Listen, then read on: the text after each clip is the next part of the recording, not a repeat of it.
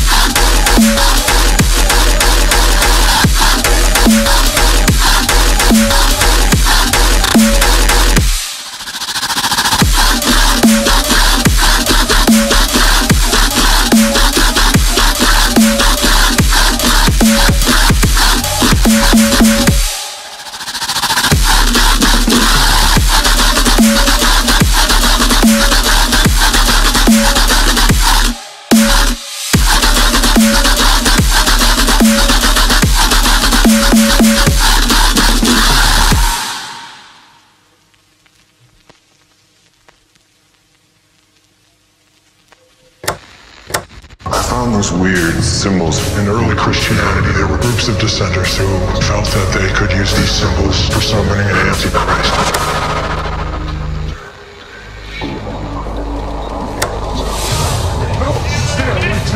antichrist.